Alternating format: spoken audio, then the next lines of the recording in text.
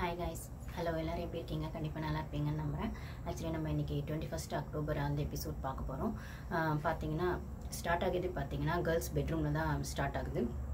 மூணு பேர் பேசிகிட்டு இருக்காங்க. தர்ஷிகா ஜாக்லின் அதுக்கப்புறம் பவித்ரா.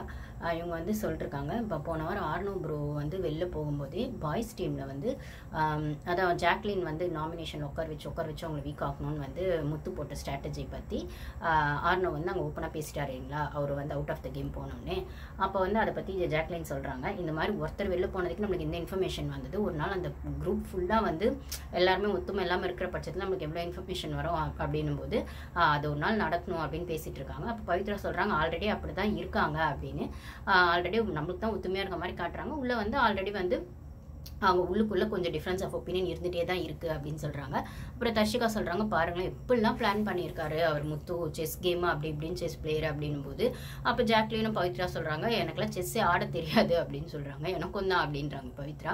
ஸோ இது ஒரு பக்கம் டாக் போயிட்டுருக்கு. இதே சேம் டைம் இது வந்து நைட்டில் நடக்குது.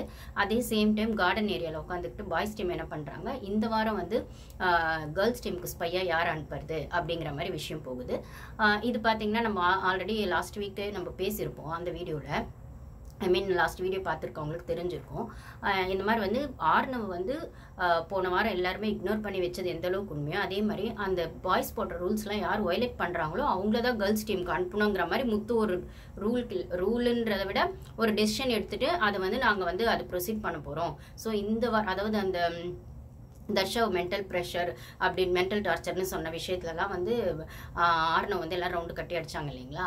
பாய்ஸ் டீமில் ஸோ அப்போ வந்து முத்து சொல்வார் சரி இனிமேல் இது இப்படி யாராச்சும் பண்ணால் பாய்ஸ் டீம் ரூல்ஸ் யார் வயலேட் பண்ணுறாங்களோ அவங்க தான் கேர்ள்ஸ் டீமுக்கு போகணும். கிட்டத்தட்ட ஒரு பனிஷ்மெண்ட் மாதிரி வச்சுருப்பாங்க கேர்ள்ஸ் டீமுக்கு போகிறத ஸோ ஆர்னோ அமுச்சு விட்டுறலாம் அப்படின்னு தான் பிளான் பண்ணியிருப்பாங்க போன வாரம்.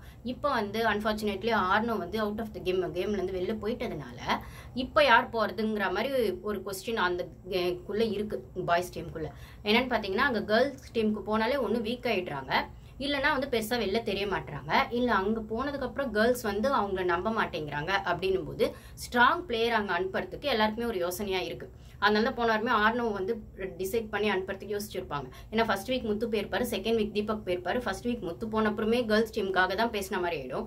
தீபக் போன அப்புறமே வந்து அந்த இந்த டாஸ்க் ஜென்ரல் நாலேஜ் டாஸ்க்லாம் வரும்போது கேர்ள்ஸ் டீமுக்கு ஆடுற மாதிரி தான் ஆயிடும்.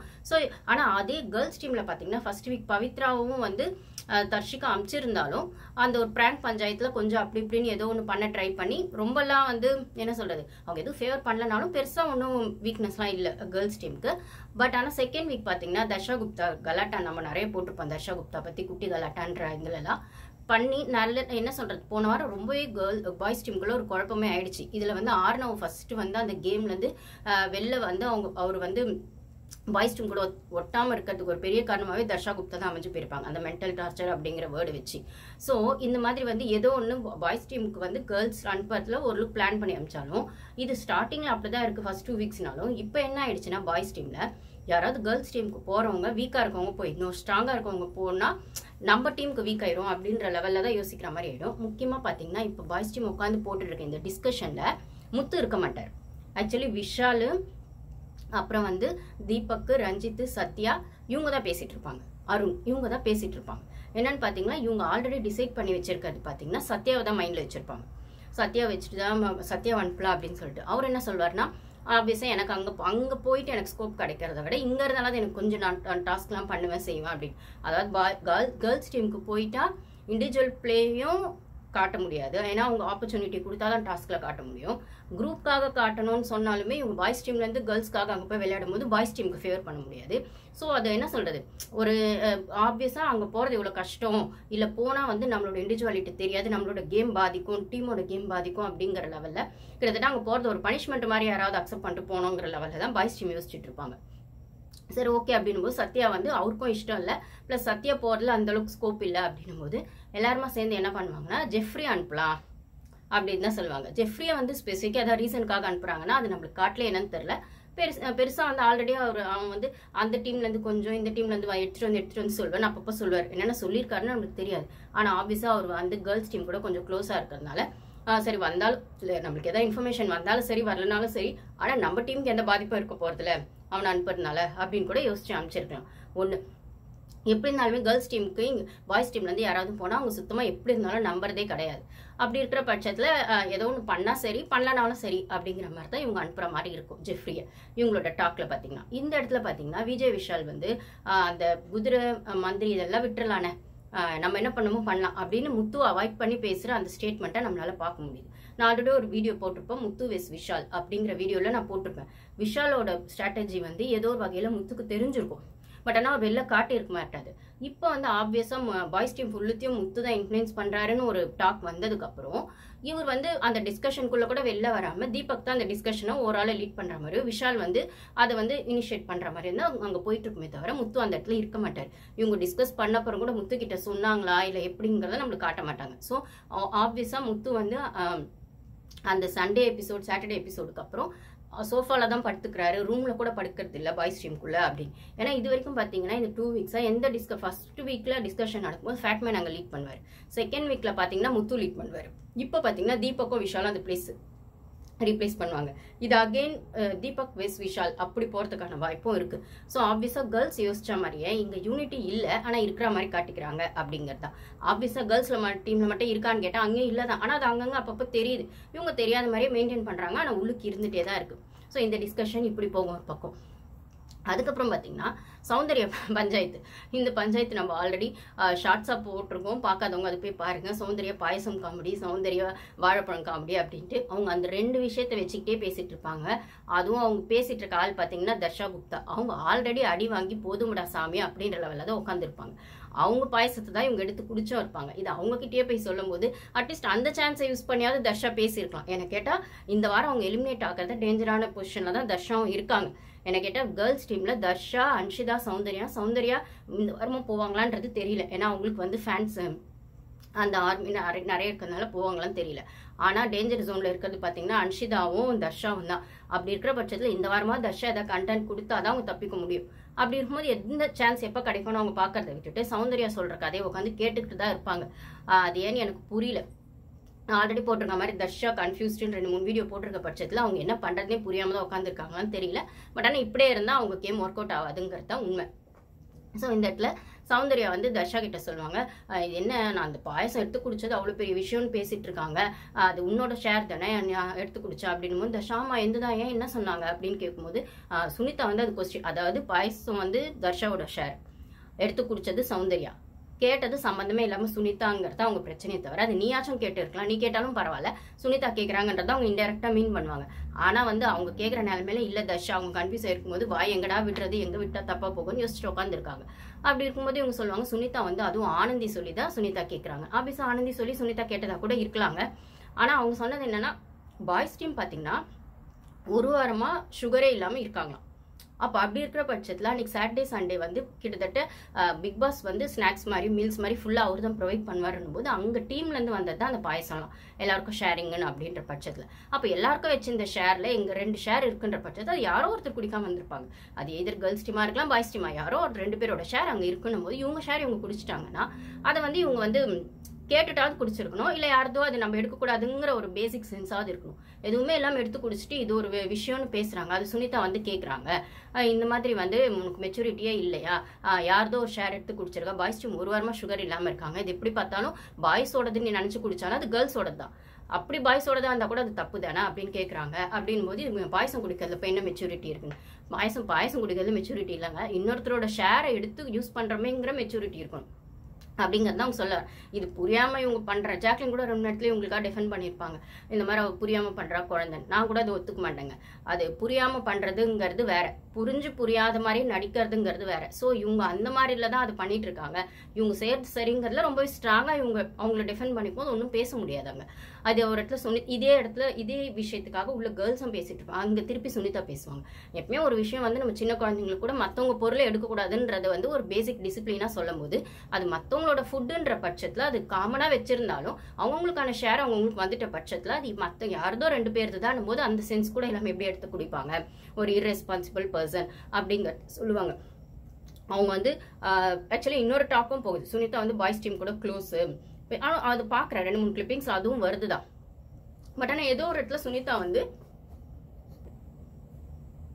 பட் ஆனால் ஏதோ ஒரு இடத்துல சுனிதா வந்து அங்கங்கே உட்காந்து ஜாலியாக பாய்ஸ் டீம் கிட்ட பேசிட்டே தான் இருக்காங்க. நானும் பார்க்குறேன் ஒரு சில கிளிப்பிங்ஸ்லாம் அதே சமயத்தில் கேர்ள்ஸ் டீம் கூட சேர்ந்து ஆட வேண்டிய இடத்துல டிஸ்கஸ் பண்ண வேண்டிய இடத்துலையும் ரூல்ஸ் ஃபாலோ பண்ண வேண்டிய இடத்துலையும் அதுவும் செய்ய தான் செய்கிறாங்க ஸோ அந்த வீட்டுக்குள்ளே இருக்கும்போது ஆப்வியஸாக ஒருத்தர் ஒருத்தர் வந்து பிரச்சனை பண்ணிக்க முடியாதுங்கிறது எந்த அளவுக்கு உண்மையோ ரொம்ப க்ளோஸாகவும் இருக்க முடியாது பிரச்சனையும் பண்ணிக்க முடியாது. இதுதான் யதார்த்தமான உண்மை. ஆப்வியஸாக அவங்க பாய்ஸ் டீம் கூட க்ளோஸாக இருக்கிற பட்சத்தில் இவங்களை யாரும் நாமினேட் பண்ண மாட்டாங்கன்றது ஒரு ஸ்ட்ராட்டஜியாக கூட இருக்கலாம். அதையும் அவங்க பண்ணுவாங்க. ஸோ அதாவது ஃபர்ஸ்ட் வந்து எலிமினேஷன் ஆகாமல் இருக்கணும்னா உள்ளே இருக்கவங்க நாமினேஷனில் வந்து தாங்களை பண்ணாமல் இருக்கணுன்றத சேஃபாக விளையாடுறவங்க ஒரு சில பேர். அதனால தான் வந்துட்டு ஆர்னோ மாதிரி இருக்கிறவங்க ரஞ்சித் மாதிரி இருக்கவங்க என்ன பண்ணுவாங்க முதல்ல என்னதான் ஹாஷாக இருந்தாலும் கோவம் வந்தாலும் அது வெளி அது கண்டென்ட்டுக்காக கூட வெளில காட்டாமல் ஏன்னா ஹாஷா ஒருத்தரை பேசிட்டோன்னா அவங்க நாமினேட் பண்ணுவாங்க ஒரு நாலு பேர் கிட்ட ஹாஷா பேசிட்டு அந்த நாலு பேரும் தங்களை தங்களை நாமினேட் பண்ணும்போது அவங்க எலிமினேஷனுக்காக போகிறதுக்கான வாய்ப்புகள் நிறைய இருக்கு வெளியில. ஒரு ரெண்டு ஓட்டுக்கு மேல வந்துருச்சுன்னா ஆப்வியஸா எலிமினேஷனுக்காக அவங்க வந்து ஜனங்களை சந்திக்கணும் அப்படின்னும் போது நாமினேஷன்ல வராம இருக்கிறது தான் ஸ்ட்ராட்டஜினா குறைஞ்சபட்சம் வந்து யார்கிட்டயும் பிரச்சனை பண்ணாம இருக்கணும்ன்றது ஒரு ஸ்ட்ராட்டஜி தான். அதை ரொம்ப நாள் ஃபாலோ பண்ண முடியும்னா மேக்ஸிமம் ஒரு ஃபோர் ஃபைவ் வீக்ஸ் தான் ஃபாலோ பண்ண முடியும். அதுக்கப்புறம் ஏதோ ஒரு இடத்துல ஏதோ ஒரு misunderstanding difference of opinion ஒருத்தருக்கு ஒருத்தர் ஹாஷா பேசுறது ஏதோ ஒன்று வரதான் செய்யும். இப்போ வரைக்கும் சுனிதா அதுலேருந்து எஸ்கேப் ஆகிற மாதிரி இருக்கலாம். அவங்க ஸ்ட்ரெயிட்டாவும் இருக்கலாம் ஸ்மார்ட்டாவும் இருக்கலாம். ஆனா அதே சமயத்துல சௌந்தர்யா விஷயத்துல அவங்க சொல்றது சரியா தப்பான போது அது யதார்த்தமான உண்மைதான். அவங்க சௌந்தர்யா அப்படி பண்ணிருக்க கூடாது செஞ்சதை நியாயப்படுத்தியிருக்க வேண்டாம். ஒன்று இது வந்து அப்படியே கதை கேட்குற மாதிரி தர்ஷா கேட்டு வச்சுக்குவாங்க. இது ஒரு பக்கம் போகும். ஆச்சுங்களா? இப்போ வந்து அடுத்தது வந்து ஓகேங்களா? நெக்ஸ்ட் வந்து கேப்டன்சி டாஸ்க் நம்ம ஆல்ரெடி நம்ம வீடியோஸில் போட்டிருக்கோம். நெக்ஸ்ட் வீக்கும் தர்ஷிகா தான் கேப்டன் ஆனு. ஸோ தர்ஷிகா தான் கேப்டன் ஆவாங்க. ஆப்வியஸாக அந்த டாஸ்க் கொடுப்பாரு. அது எந்த டாஸ்க்னு பார்த்தீங்கன்னா அதான் குவாக் குவாக் அப்படிங்கிற பேரில் அந்த டாஸ்க் இருக்கும். அந்த மாதிரி காலில் வந்து இது பண்ணிட்டு நீங்கள் வீடியோ பார்த்துருப்பீங்க. அந்த கேம் அது கொஞ்சம் ஃபன்னியாக தான் இருக்கும். ரொம்ப சும்மா டிஃப்- இது டிஃப்ரெண்ட்டாலாம் இல்லை. அந்த கேம் தான் பண்ணுவாங்க. அதில் வந்து தர்ஷிகா வின் பண்ணிடுவாங்க. தர்ஷிகா வந்து வந்து பார்த்தீங்கன்னா ஒரு கொங்கு மாதிரி வச்சுட்டு அந்த ரவுண்டுக்குள்ளே பாய்ஸை வந்து யார் யார் அவங்க பாய்ஸ் தொடுறாங்களோ அவங்களாம் அந்த கொம்பு வச்சு தொடுறாங்களோ அவங்களாம் அவுட்டு ஸோ மேக்ஸிமம் டைம்குள்ளே அவங்க வந்து யார் நெத்தின் நிறைய நிறைய எல்லாரையும் அவுட் பண்ணிடணும் பாய்ஸ் எல்லாம். அவுட் பண்ணுற பட்சத்தில் அதுதான் கேம் இதை வந்து தர்ஷிகா பண்ணிடுவாங்க. அதே வந்து ரஞ்சித் ஆடும்போது கேர்ள்ஸை பண்ணணும் போது கேர்ள்ஸை வந்து அவரால் பண்ண முடியாது. ரெண்டு மூணு கேர்ள்ஸ் மிச்சமாயிடுவா மிச்சமாக இருப்பாங்க. அவர் அவுட் பண்ணாமல் அதே சமயத்தில் ஒரு ரெண்டு வாட்டி கீழே வேற விழுந்து மூக்கில் வேற அடிபட்டுரும் போல். அதெல்லாம் நம்மளுக்கு காட்டலை. ஸோ வந்து கொஞ்சம் ப்ளீடிங்லாம் ஆயிடும். அவருக்கு மூக்கிலலாம் அடிப்பட்டு ஏன்னா போய் செவுத்துலலாம் இடிச்சுக்குவார். கண்ணை கட்டிட்டு பண்ணணும். Uh, ஸோ வந்து அந்த மாதிரி பண்ணும்போது தர்ஷிகா ஆப்வியஸாக வின் பண்ணுவாங்க. ஃபார்ட்டி எயிட் செகண்ட்ஸில் ஸோ செகண்ட் வீக் கேப்டன் அதாவது செகண்ட் வீக்கில் sorry second time captain second week வந்து அவர் வந்தார் இல்லைங்களா Sathya? So second time captain ஆக்சுவலாக பார்த்தீங்கன்னா இந்த பிக் பாஸ் டீமில் ஒரு வாட்டி கேப்டன் ஆகிறதே பெரிய விஷயம். ரெண்டு வாட்டி கேப்டன் ஆயிருக்கிற பட்சத்தில் அது இவங்க எந்த அளவுக்கு இந்த யூட்டிலைஸ் பண்ணுவாங்கன்னு தெரியல. ஆல்ரெடி ரொம்ப ஸ்மார்ட்டு இன்டெலிஜென்ட் uh, அவங்க தர்ஷிகா. எப்படி யூட்டிலைஸ் பண்ணுவாங்கன்னு தெரியல. அவங்க வந்து எல்லாரும் முன்னாடி அவங்க தர்ஷிகா கேப்டன் ஆயிட்டாங்க அப்படிங்கிற போது அந்த லிவிங் ரூம்ல அந்த குயின் அப்படிங்கிற ஒரு விஷயத்தை அப்ரிஷியேட் பண்ணி பிக் பாஸ் கொடுப்பாரு. அதுக்கப்புறம் இவங்களும் எல்லாரும் முன்னாடி நான் வந்து இந்த வாட்டி வந்து பாய்ஸ் கேர்ள்ஸ் ரெண்டு டீமுக்கும் நியூட்ரலாக தான் விளையாடுவேன். ஃபர்ஸ்ட் வீக்ல செஞ்ச மிஸ்டேக்ஸ்லாம் பண்ண மாட்டேன்.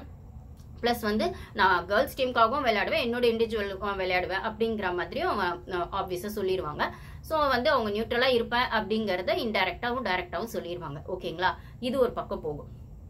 இப்போ வந்து கேப்டன்சி டாஸ்க்ல தர்ஷிகா வந்ததுனால இப்போ சரி ஓகே அவங்க வந்து ஓரளவுக்கு அவங்க இன்டெலிஜென்ஸ் தான். சத்திய மாதிரி சும்மா டம்மியா இருக்க மாட்டாங்க. ஏதோ ஒன்று பண்ணுவாங்க அப்படின்னாலும் என்ன பண்ண போறாங்கன்னு ஒரு கியூரியாசிட்டி இருக்கு. ஓகேங்களா கேப்டன்சி கிளாஸ் கேட்டுச்சிங்களா இப்போ வந்து க்ராசரிக்கு பற்றி பேசுகிறாங்க கேர்ள்ஸ் டீமில் யார் க்ராசரி அனுப்புறது அப்படின்னு? சௌந்தர்யா வந்து ஆல்ரெடி எனக்கு எந்த டாஸ்க்கும் கொடுக்கல எனக்கு எந்த டாஸ்க்கும் கொடுக்கலான்னும் போது நான் போகிறேன் அப்படின்னு சொல்கிறாங்க இவங்களுக்கு என்ன ஐடியானா ஆல்ரெடி போன வீக் வந்து டூ தௌசண்ட் சம்திங் தான் எடுத்துகிட்டு பத்தலை.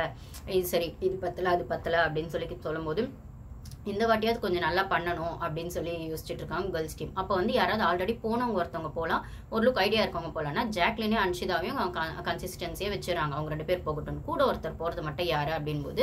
அப்போ வந்து சௌந்தர்யா சொல்கிறாங்க நான் போகிறேன் அதான் ஆல்ரெடி ஜாக்லினும் ஒரு லுக் தெரியும் அன்ஷிதாக்கும் தெரியும். நான் சப்போர்ட்டுக்கு மட்டும் போகிறேன் அப்படின்போது ஜாக்லின் கால்குலேட் பண்ணுறதுக்கு தான் எவ்வளோ அமௌண்ட் அப்படின்னு சொல்லிட்டு. அப்போ அப்படி இருக்க பட்சத்தில் அப்போ அன்ஷிதா மட்டும் தான் ஒரு ஆள் இருப்பாங்கன்னா அப்போ கூட வந்து இன்னொரு ஆள் தெரிஞ்சவங்களா அப்போ வந்து ஜாக்லின் சொல்கிறாங்க ரெண்டு பே- ஒருத்தர் வந்து நல்லா தெரிஞ்சவங்க போகிறதுக்கும் இன்னொருத்தவங்க சுத்தமாக ஐடியா இல்லாதவங்க போகிறதுக்கும் டிஃப்ரென்ஸ் இருக்குல்ல.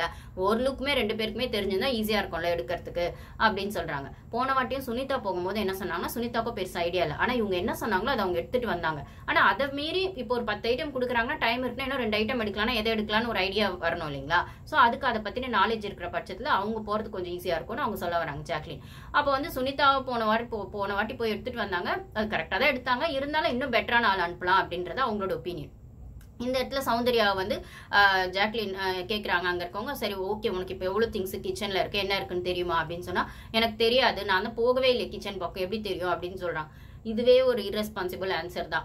ஒரு டாஸ்க் எப்படி இந்த வாரம் டாஸ்க் வரப்போகுதுன்னு தெரியும். அது வந்து நம்ம நம்மளுக்கு எந்த டாஸ்க்கும் கொடுக்கல நம்ம அதை டிஃபெண்ட் பண்ண போறோம் நம்மளுக்கு வேணும்னு கேட்க போறோம்னா அதுக்கு நம்ம ஓரளவுக்காவது ப்ரிப்பேர்டாக இருக்கணும். அதை விட்டுட்டு வெறும் கொடுங்க கொடுங்கன்னு கேட்கறதுல அர்த்தம் இல்லைங்களா?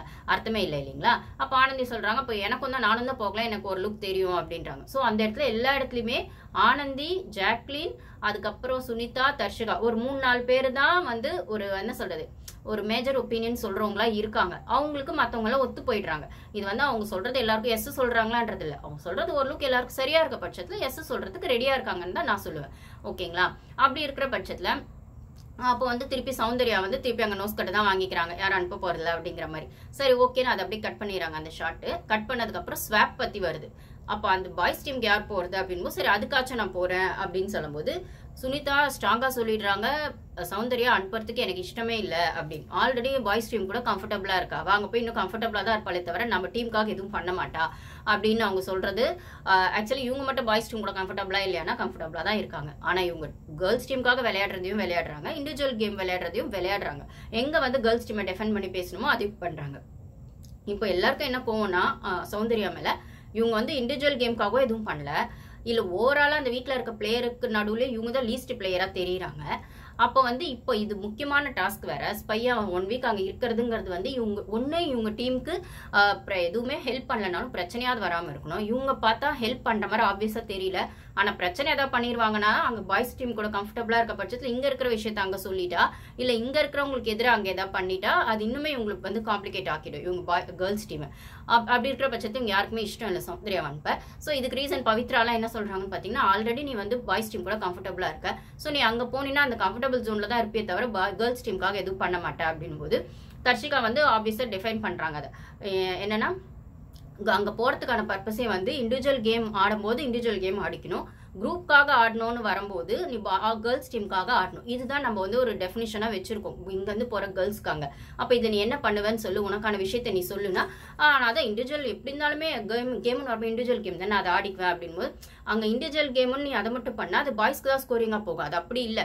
உனக்கான ஸ்பேஸையும் எடுத்துக்கணும். கேர்ள்ஸ் டீமுக்கான அந்த ஒரு விஷயத்தையும் நீ பண்ணணும். அப்படிங்கும்போது அவங்களுக்கு அதை சொல்ல தெரியலையா? இல்ல தெரில தெரிலன்னு சொல்றது டூ வீக்ஸ் ஆயிடுச்சுங்க. திருப்பி திருப்பி நம்ம அதே சொல்லிருக்க முடியாதுல்ல. அப்படின்னும் போது சச்சனாவும் வந்து அது கேட்குறாங்க நான் போறேன் அப்படின்னும் போது சரி ஓகே நீ உன்னோட பாயிண்ட் ஆஃப் வியூ சொல்லணும்னா அவங்க கிளியரா எடுத்து வைக்கிறேன். அவங்க செய்யறாங்களோ இல்லையோ அந்த பாயிண்ட்ஸ் கிளியரா எடுத்து வைக்கும்போது ரொம்ப சூப்பர் பாயிண்ட்ஸ்லாம் சொல்லல. ஆனாலும் கம்பேரிட்டிவ்லி இது சௌந்தர்யா வெஸ் சச்சனா அப்படின்னு சொல்லும்போது சச்சனா அங்கே ஸ்கோர் பண்ணிடுறாங்க ஆப்வியஸாக அவங்க கிளியரா சொல்றாங்க. அங்க வந்து பாய்ஸ் சைடில் எனக்கான சாஃப்ட் கார்னர் கொஞ்சம் இருக்குது அப்புறம் ரஞ்சித் சார் கிட்ட நான் இன்ஃபர்மேஷன் வாங்கிடுவேன். முத்து அவர்கிட்டயே எனக்கு ஒரு சாஃப்ட் கார்னர் இருக்குது ஸோ அவரும் எனக்கு என்- நான் வந்து இன்ஃபர்மேஷன் என்ன வாங்கணுமோ வாங்கிடுவேன். ஆப்வியஸாக வந்து அப்போ வந்து என் தர்ஷிகா கேட்குறாங்க சரி ஓகே நீ வந்து உன்னை நாங்கள் எல்லாருமே பேம்பரிங் பண்ணுறாங்கன்ற பட்சத்தில் நீ அங்கே போய் கம்ஃபர்டபுளாக செட்டில் ஆகிட்டினா நீ கேர்ள்ஸ் டீமுக்காக என்ன பண்ணுவேன் பாய்ஸ் டீமுக்காக விளையாட மாட்டியா? அப்படின்னு அதெல்லாம் பண்ண மாட்டேன் அது வேற. அவங்க எனக்கு பாசம் காட்டுறாங்க அக்கறை காட்டுறாங்க அது வேற. கேமுன்னு வரும்போது இது வேற. அவங்களும் அப்படிதானே சொல்கிறாங்க அப்போ அந்த கேமுன்னு வரும்போது அது நான் என்னோட என்ன எனக்கு என்ன தோணுதோ நம்மளுக்கு டீமுக்கு என்ன சரியோ அதை தான் நான் பண்ணுவேன். அதை நான் உங்களுக்கு ஷியராக வந்து நான் சொல்கிறேன் அப்படின்னு. அப்போ தர்ஷிகா கேட்குறாங்க ஒருவேளை அவங்க உன்னை நம்பி அந்த டாஸ்க்கும் கொடுக்கலன்னா நீ அங்கே பெர்ஃபார்ம் பண்ண முடியாது ஸ்கோர் பண்ண முடியாது டாஸ்க் எதுவும் விளையாடாம பரவாயில்லையா அப்படின்னு கேட்டால் அது பரவாயில்ல. ஆனால் நான் இன்ஃபர்மேஷன்லாம் கேதர் பண்ணி கொடுக்குறேன்ல கேர்ள்ஸ் டீமுக்கு அதுவும் ஒரு ஸ்கோரிங் பாயிண்ட் தானே. அது எனக்கு போதும். அப்படின்னு எந்த கொஸ்டின் கேட்டாலும் ச- சச்சனா வந்து அவங்க போகிறதுக்கு டபுள் ஓகே சொல்கிற லெவலில் தான் ஓகேவாக இருக்காங்க. பட் ஆனால் இவங்க சௌந்தர்யா பார்த்தீங்கன்னா அவங்களுக்கான பாயிண்ட்ஸ் எதுவுமே எடுத்து வைக்கல. வைக்காம நான் அனு- அனுப்புங்க இல்லைன்னா நம்ம சரி அப்படி என்ன பாயிண்ட் எக்ஸ்ட்ரீமாக எடுத்து வச்சாங்கன்னு பார்த்தா கேர்ள்ஸ் டீமில் யாரையும் நான் நாமினேட் பண்ண மாட்டேன் அப்படி. இது ஒரு விஷயமே கிடையாது. ஆல்ரெடி பிக் பாஸே வந்து ஒரு வாரம் வந்து கேர்ள்ஸ்லேருந்து பாய்ஸ் டீமுக்கோ பாய்ஸ்லேருந்து கேர்ள்ஸ் டீமுக்கு வந்து நாமினேட் பண்ணணும்னு சொல்லிடுறாரு. ஒரு ஒரு வாரம் அது வந்து இது வரைக்கும் ஓப்பன் நாமினேஷன் வரலை. அப்படி இருக்கிற பட்சத்தில் அங்கே வந்து கன்ஃபெஷன் ரூமில் தான் நாமினேஷன் நடக்குது. அங்கே போய் யார் யார் பண்ண போகிறானோ யாருக்கும் தெரியாது. அப்படி இருக்கிற பட்சத்தில் இது ஒரு விஷயமாவே வந்து இவங்க எடுத்து வச்சு பேசினது வந்து ஸ்ட்ராங்கான விஷயத்தை எடுத்து அப்போதைக்கு என்ன விஷயம் தேவை? இமீடியட்டாக டீமுக்கு அப்படிங்கிற மாதிரி ஒன்றும் சொல்லலை. அப்போ இவங்க வந்து என்னை எதுக்குமே அனுப்ப மாட்டீங்களான்ற மாதிரி கொஞ்சம் வந்து கொஞ்சம் அப்பயே பிரேக் ஆயிடுறாங்க டவுன் ஆயிடுறாங்க. அப்போ பிரேக் டவுன் ஆகிற பட்சத்தில் வந்து ஆனந்தி சொல்கிறாங்க இல்லைடா உன்னை எதுக்கு அனுப்ப மாட்டோம்னா நீ முதல்ல எங்கள் நம்ம டீமுக்குள்ளே ஒரு யூனிட்டிக்குள்ளே நீ வர மாட்ற. ஆனந்தி சொல்கிற சரியா தப்பாங்கிறத விட அந்த சூழ்நிலைக்கு அவங்க சொல்றது தான் சரியா இருக்குன்ற மாதிரி ஒரு சூழ்நிலை இருக்கு. இவங்களும் அப்படிதான் பண்ணி வச்சிருக்காங்க. அந்த பாயசம் ஆகட்டும் வாழைப்பழம் இன்னைக்கு எபிசோட் ஃபுல்லா பாத்தீங்கன்னா சௌந்தர்யா ஒண்ணுமே செய்யலன்னு சொல்றதே ஒரு கண்டென்ட் ஆயிடுச்சு. அப்படிதான் இருந்தது. அந்த வாழைப்பழம் விஷயம் எல்லாமே வந்து டீமுக்கு அது ஒரு பாதிப்பு ஏற்படுத்தும்னா அதை செஞ்சுட்டு இதுல என்ன இருக்கு? செய்யறது. இதில் என்ன இருக்குது எனக்கு ஃபஸ்ட்டு இது சாப்பிட்டேன். அப்படின்னு சொல்கிறது வந்து சரியில்லை இல்லைங்களா? அப்படி நீங்கள் டீமுக்கு பட்டும் படாமல் ஒரு விஷயத்த வந்து அது பாதிக்கும்னு தெரிஞ்சுமே நீங்கள் அதை செஞ்சுட்டு பட்டும் படாமல் ஒரு பதில் சொல்லும்போது டீம் எப்படி உங்களை நம்பி ஒரு டாஸ்க் அனுப்புவாங்க?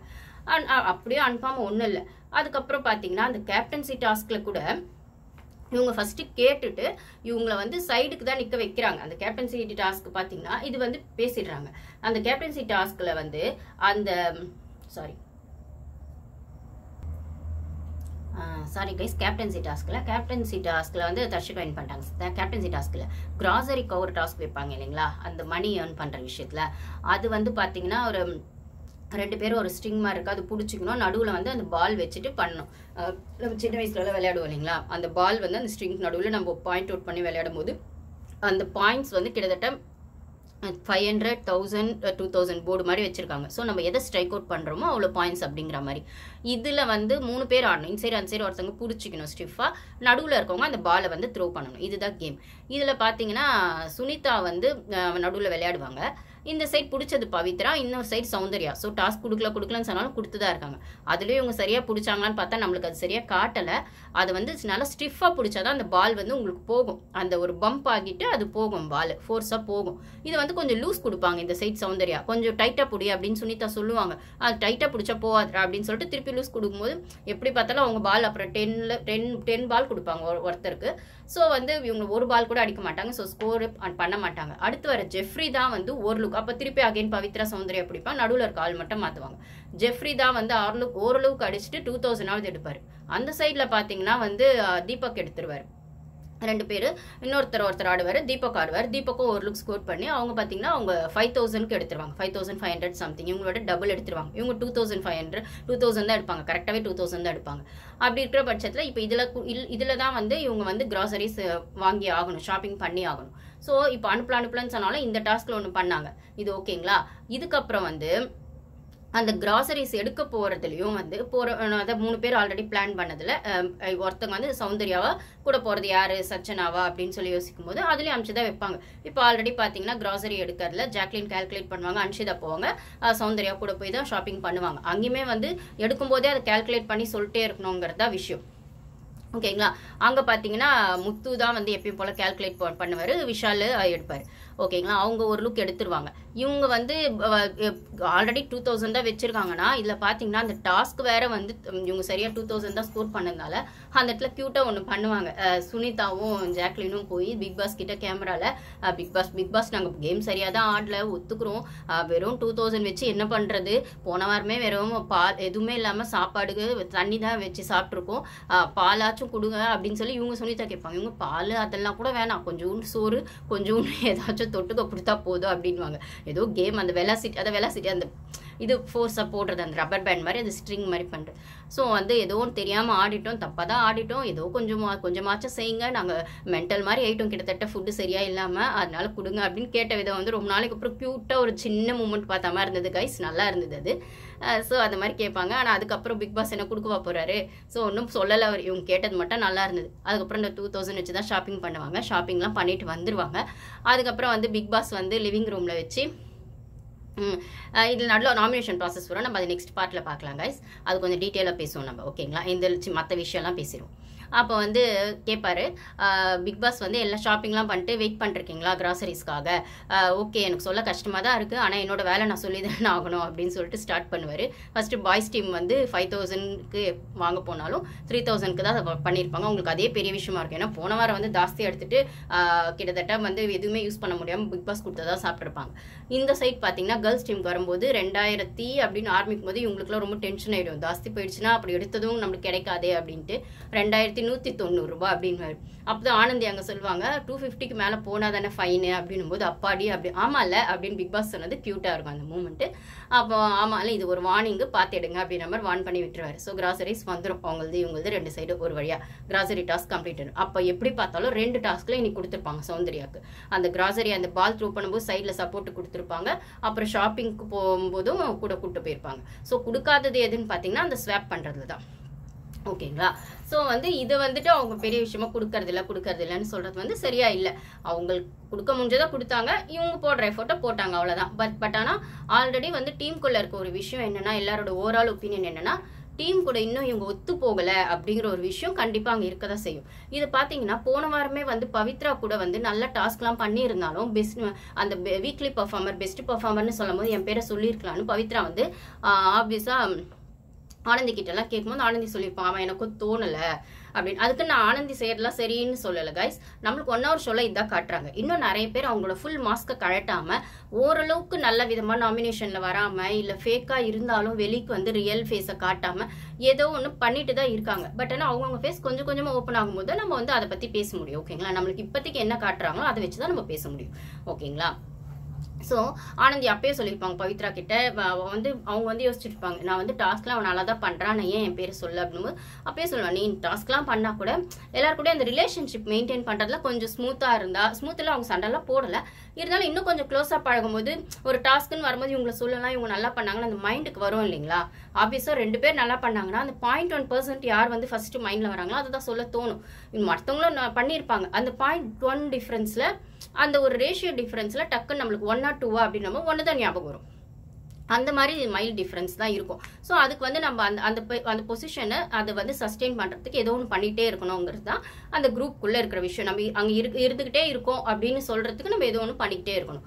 ஓகேங்களா? ஸோ இதை தான் அவங்க சொல்கிற மாதிரி இப்போ வந்து அந்த சுத்தமாக வந்து சௌந்தர்யம் அந்த விஷயத்தில் ஒத்தே போகலை கேர்ள்ஸ் டீம் கூட. ஓகேங்களா? இது அவங்களுக்கு கஷ்டமாக இருக்குன்னாலும் பார்க்கவும் கஷ்டமாக இருக்குன்னாலும் ஏதோ ஒரு இடத்துல கேர்ள்ஸ் டீம் சொல்றதும் நியாயமாக தான் இருக்குது அது கேர்ள்ஸ்க்கு பாதிப்பு வரும்ன்ற பட்சத்தில் அந்த டீம் ஃபுல்லாகவே பாதிக்கணும் போது அவங்க அந்த டெசிஷனில் கொஞ்சம் ஹார்ஷாக தான் இருக்க வேண்டியதாக இருக்குது ஓகே கைஸ் நம்ம நெக்ஸ்ட் பேசலாம். நெக்ஸ்ட் பாட்டில் பார்க்கலாம். Thank you guys